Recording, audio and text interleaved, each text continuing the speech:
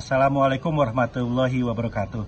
Hanya karena atas kuasa dan kehendak dari Allah Subhanahu wa taala setelah serangkaian tes swab, tim dokter RSUD Kota Bogor menyatakan saya sembuh dan sehat dari COVID-19. Walaupun selama beberapa hari mungkin seminggu ke depan masih harus tetap isolasi secara mandiri di rumah.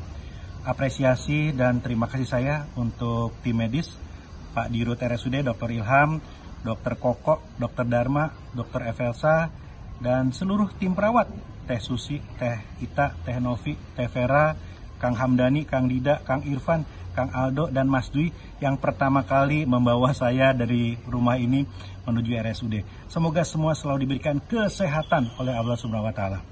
Bagi saudara-saudara yang masih terpapar COVID-19, tetap optimis, positive thinking, dengan kekuatan mental kita, dengan keimanan kita, insya Allah kita bisa lalui ini.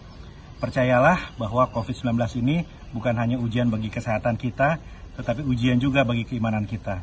Insya Allah kita dekatkan diri kita kepada Sang Pencipta kita.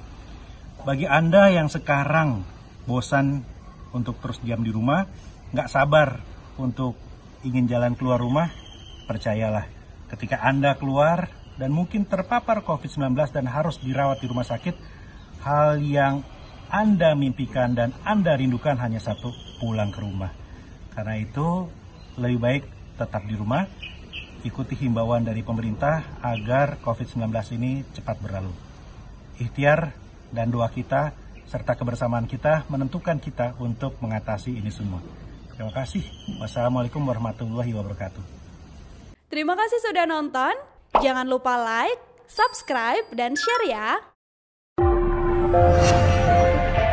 Thank you.